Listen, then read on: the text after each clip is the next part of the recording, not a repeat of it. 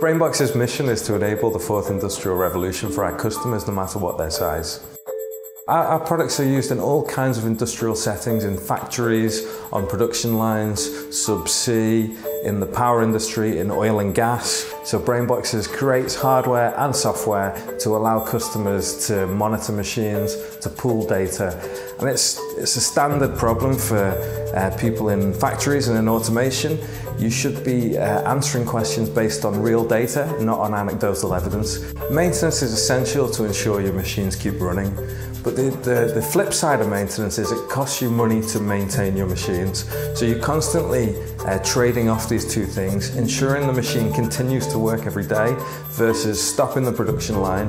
So it's not the cost of the machine necessarily, it's the cost of not running the machine we can now maintain lots of things that previously it would not have been economical to monitor. If we consider that we want to move from preventative maintenance to predictive maintenance, we need a model of the machine's health and then you can associate a cost with the current running of the machine versus a cost with the maintenance. RS is one of our key partners. We've been a supplier to RS for over 20 years. What's really nice in the last few years is RS use our technology within their own facility and understand the benefit of what it is we're selling.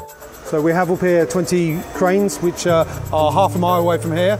So Brainboxes have introduced uh, an IoT system which you can connect to any um, information connected to your system and we can see it in a format that's usable. So as well as putting one of these screens in the crane so the guys can see how their performance of the day has been, we will copy this into the supervisor's and manager's office so that at all times we have a good visibility of the crane information. You can start to do trend analysis when you get data over a longer period of time.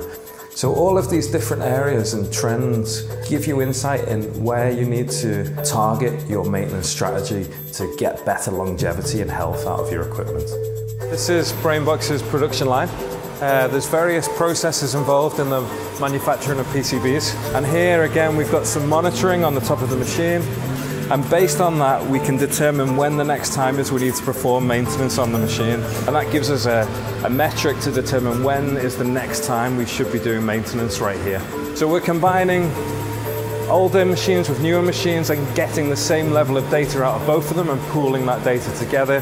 This is where the, the benefit of Industry 4 comes in. So how can we use that data to improve our production capacity and ship more orders to customers? So we're balancing its throughput and its uptime versus its quality.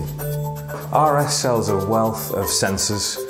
All of those different devices can be plugged into our products and then our product can take the data and analyze the meaning. Things will be getting smaller, things will be getting lower power, uh, more and more types of things will be able to be monitored and all that data will be collected and pooled and understood in more interesting ways. Uh, ultimately what we want is automatic resupply of critical parts without having to think about it. By automatically understanding the health of a piece of equipment and knowing what its life expectancy and having a model for it is, we can automatically get these parts resupplied without even thinking about it. And the day will come when the box is already on the shelf from RS. Two days before the machine breaks down, you've got everything you need to prevent downtime.